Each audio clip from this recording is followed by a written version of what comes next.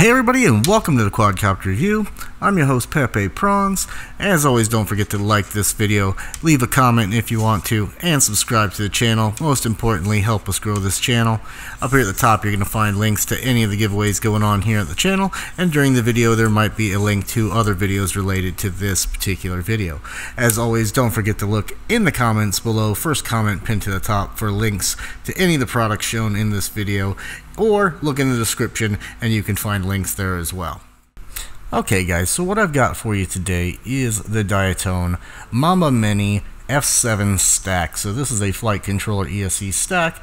It is 20 by 20. You can use this for your 3 inch, smaller, even 5 inch if you got 20 by 20 mounting screws.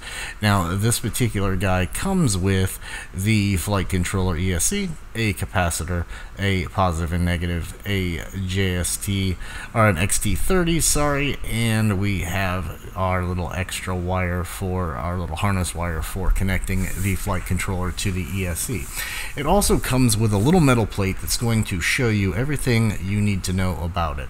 So I'm going to go clockwise. So starting at 1 o'clock, we've got our buzzer positive negative, then we have our USB plug, then we have a ground 5 volt and our LED port down there uh, getting close to 6 o'clock we've got our VCC and ground if you're going to run a VTX it requires more than 5 volt then we have at 6 o'clock we have our TX6 and our RX6 with a ground and a 5 volt then we have a TX5 and an RX5 with a ground and a 5 volt.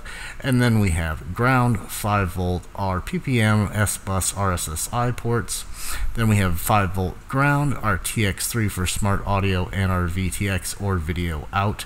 And then we have 5 volt ground and cam at the top. And then across the top, of course, we have our TX4 and our regular harness plug to go down to our ESC.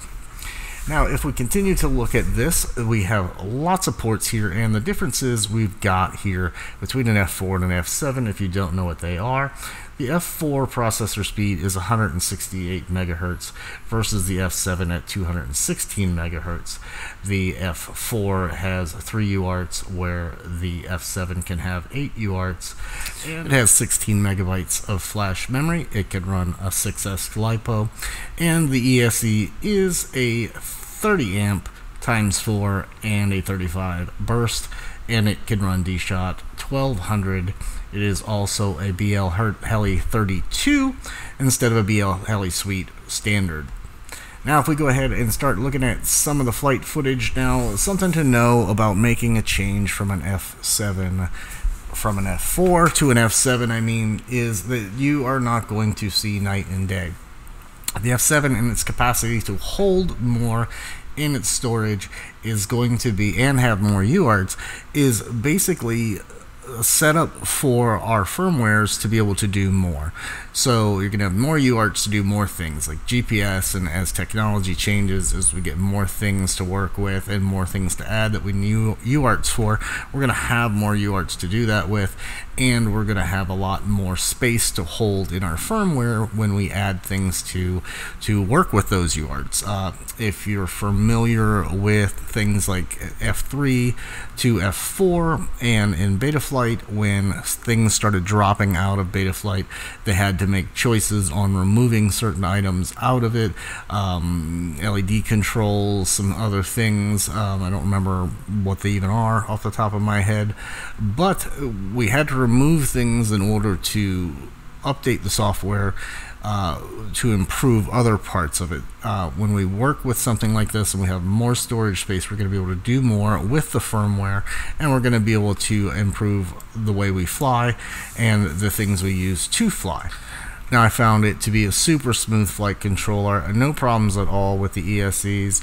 Everything, as you can see, uh, running super smooth. Um, a little help, of course, with the BQE 3 inch as fuck because BQE just makes floater frames, in my opinion. Uh, my entire personal fleet is BQE because to me, every frame I fly with them just floats and. Uh, to me, I'm not the greatest pilot. Everyone knows that. I am a reviewer, but uh, these things uh, and with this board it just was soaring and floating. So I really enjoyed this.